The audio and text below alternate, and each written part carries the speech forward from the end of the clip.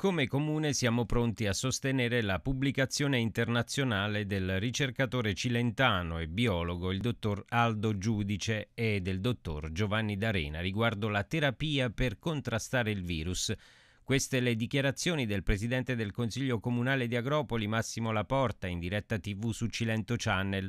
Il comune di Agropoli crede in questa pubblicazione, ha detto Laporta. Conosco personalmente il dottor Giudice e posso garantire che lavora sulla ricerca da 30 anni ed è un dipendente del Pascale di Napoli. La ricerca che stanno portando avanti sarà una soluzione migliorativa alle terapie attuali e riguarda la cellula aggredita dal virus, il calcio. La terapia di inibizione del calcio già sta dando i primi segnali. Intanto l'editore di Cilento Channel, Gianni Petrizzo, ha annunciato la presenza del dottor Aldo Giudice in diretta per il giorno 7 aprile alle ore 18.